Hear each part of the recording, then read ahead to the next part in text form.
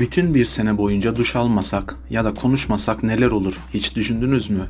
Ya da dünyamız aniden dönmekten vazgeçse?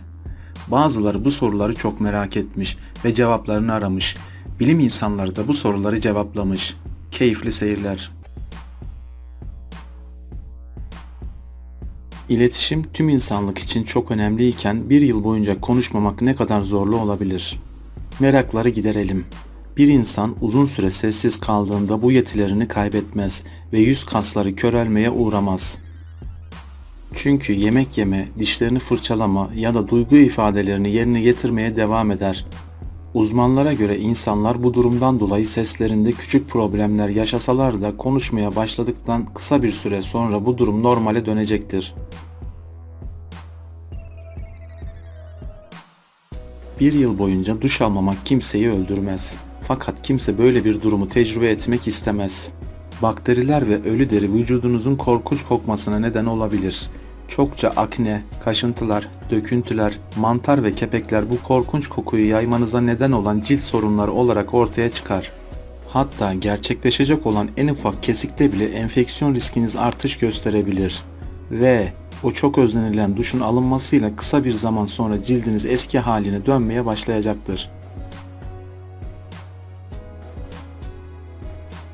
Dünyamız saatte 1600 km hız ile eksen dönüşünü tamamlar ve biz bunu hiç fark etmeyiz bile.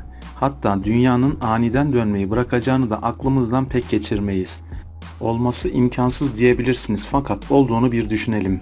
Neler olur? Korkunç felaketler silsilesi.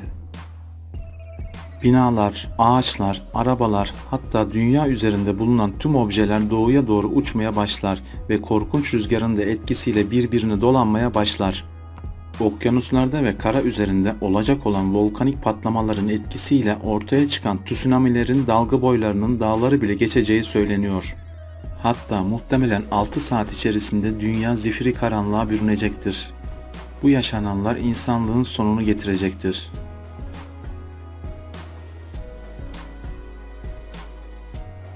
2013 Ağustos'unda Google ve içinde bulunan tüm servisler yalnızca 5 dakika çalışmayı durdurdu ve internet trafiği %40 büyüdü. Yani kargaşa durumu hakim oldu. 30 dakika çalışmamasıyla ortaya çıkan sorunları hayal etmek oldukça kolay. Google yüklü miktarda para kaybı yaşayacak ve onun altında yer alan servisler devreye girecek. Büyük ihtimalle telefon aramalarında ve mesajlaşmalarda artışlar gözlenecek. Ama bu durum diğer arama motorlarının da işine gelebilir.